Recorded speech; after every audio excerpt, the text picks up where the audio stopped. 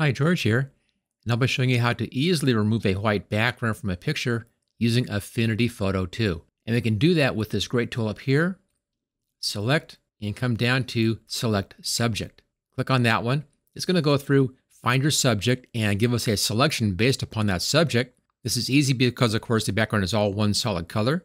So we'll let this thing finish up. Now, Affinity Photo takes a moment or two to do this. It analyzes the whole picture and then gives you a good selection based upon that analysis. There we are. And let's just go ahead and look around. You see, maybe a few little things is a little bit off right up here, a little bit off right down there, a little bit off right over here and down there. Those are okay. A little off on the bottom. So a few things come in here and fix, but not that much. Now, whenever I do any fixes like this on an image, I like to be working on a copy of the image. So let's go over here where it says background, right click, and let's duplicate hide the original, and we'll do all of our work here on the background layer. In case things get messed up, we can always go back down to the original. The first thing I want to do is come in and get some of the major fixes in here. So let's go over here. And this is go to the selection brush tool. I have this set at 64 pixels. I have snap to edges unselected. And let's start off with the add right there. And I'll come down. I'm just going to add in this little bit right in here like that. That fixes that.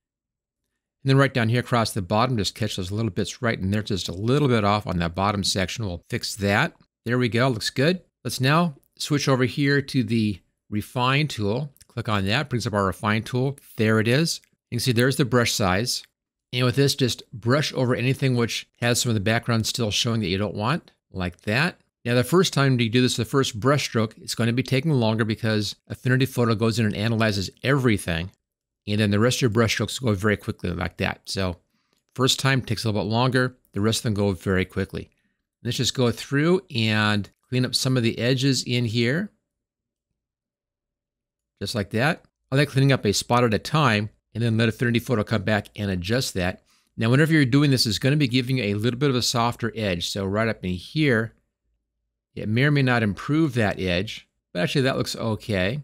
We have two spots right down in here we need to get rid of. So let's come down, let's set the output at selection, choose apply, and then I'll use the scroll wheel on the mouse and just zoom in here, see if we can get these two things cleaned out. It's a very minor detail. It might be easier just to paste in some hair over this and just hide those two spots. And for that, we'll go even easier. I'll just grab the clone stamp tool here. Let's bring the brush size down, left square bracket. And I'll go over here and grab some hair from right here, Alt and click. And I'll just put that right over the top. And we'll come in and just kind of adjust things a bit here so it's not an exact match anywhere. Now the edge of this clone stamp tool is a little bit hard right down here. So let's go up here and set our hardness down to zero. And then grab some of this and just come in here. That just softens that edge up a little bit.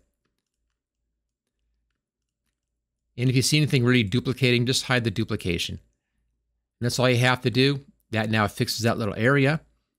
Everything else looks really nice. And that's basically it. I'll use the control zero to fit screen here. Let's just double check our edge. Now you may see some edges that look like they're a little bit off. It's just that Affinity Photo can't really show this little marching ants thing on every little spot. So it doesn't. Let's now go to our layer, come down, click on this button. This is the mask layer. Choose that. And there we go. The background's now been removed. To stop those marching ants, use Control D and there it is, background cleaned up. It's that easy to do here. Now, if you enjoyed this video and you want to learn more about how to use Affinity Photo, I have a complete training course for this program, and I'll put a link for that right at the top of the description. That covers all the tools, all the menus, all the panels, everything. It's all there. It's also a single price for lifetime access. It isn't a subscription. So take a look at that. If you enjoyed this video, make sure you give me a thumbs up. Also, make sure you subscribe so you don't miss any videos in the future. I'm doing new videos all the time and I'll see you next time.